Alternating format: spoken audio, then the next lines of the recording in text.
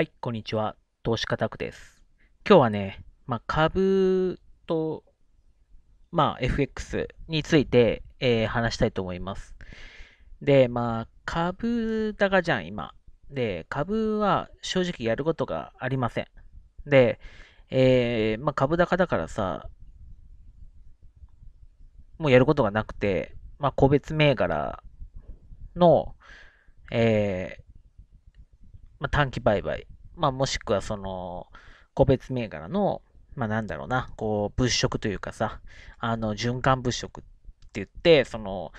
コロコロさ、個別銘柄の売買を、こう、まあ、日とか週ぐらいごとに変えながらさ、複数やっていく、う、うまあ、買ったり売ったりとか含めてやっていくぐらいしかやることがなくて、うん、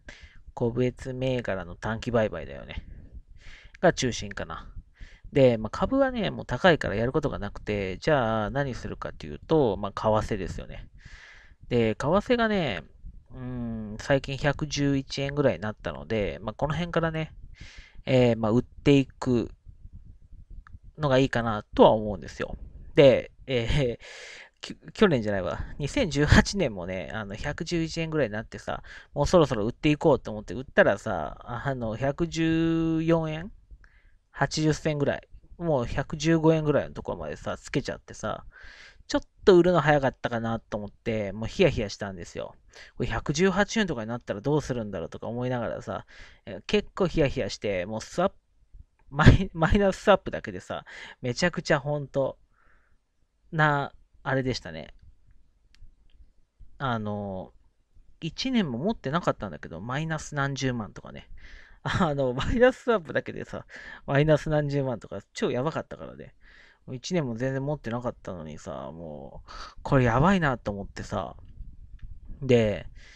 まあそういう時に限って、あの高いところでもロング持っとかないと、ショートとロング同時に持っとかないと、あの、死んじゃうじゃん。だからさ、あの、ロング持つんだよ。で、ロング離せなく一部になっちゃってさ、そのロングポジションを若干持ってたりもするんだよね。で、これね、あの、投資やったことある人だとわかるんだけど、ロングとショートを両方ね、あの、持つんだよ。で、まあその、あの、証拠金の関係からさ、やっぱりある程度さ、いや、厳しいな、みたいになっちゃうから、そういう時にね、ロングとショートを、あの、まあ変な位置でさ、両方掴んじゃうこともあって、で、まあ高いところでね、ロング掴まざるを得ない。ちょっと危険だなと思って、ロング持ったりもするんだよ。だから、そのポジションがね、まあ、全部解消できなくて、うんまあ、若干残ってはいるんだけど、でも今ね、ちょうどね、またね、その、高くなってきて、もうちょっとかなっていうところはあります。で、別にね、あの、損、損切りしてもいいんだけど、ただね、あの、ロング持ってたらね、プラスのスワップがもらえるから、別にね、あの、ちょっと高いとこで持ってても、別にそこまでね、あの、痛くないというか。で、高くなったら、逆にね、あの、売っていけばいいんで、わかる？その、高いとこで買わされてても、あの、まあ、ドル円で言ったらね、価格が高くなっていったら、高いところでロング持ってても、ショートを連発していけば、結局ね、あの、まあ、いつか相殺できるだろうと。まあ、その暴落、暴落、それがいつか暴落すると読んでね、の場合ね、いつかまあ相殺できるだろうっていうところあるんで、まあ、それね、1ドルがね、例えば120円とかになったらさすがにね、きついけど、あの、まあ、きつくても、まあ、あの、お金入れたらね、まあ、生き残れるんだけど、正直言うとね。でもね、まあそこまでならないだろうっていう、まあそういう前提でね、まあやっていくから、うーん、高いところでちょ若干ね、持ってるロングをその、まあ含み損を相殺するために、まあ売っていくっていうのも、まあこの辺からいいかなとは思います。正直言ってね。うん。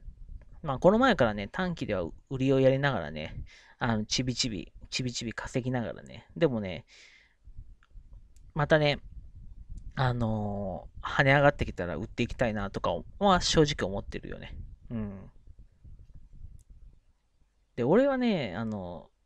為替から入ったから、むしろ、その、売りから入るってことができるんだよ。で、なんだろう。他の投資をしてる方って、あんまり売りから入るってイメージが、まあ、ないわけ。あの、現物の株とかだったらさ、あの、売りから入るってないから、その、他の、なんだろうな、まあ、債券でも何でもいいけど、売りから入るってあんまりないから、そういう意味でね、あの、その、まあ、なんだろう、意味とかあんまり価値がわかんない人も結構いる。でもまあ、自分は為替からやったので、まあ、売りから入るっていう、その、ことも全然、まあ、抵抗はないし、あの、まあ、場面を見極めてね、やっていくってことはすごくいいかなというふうに思います。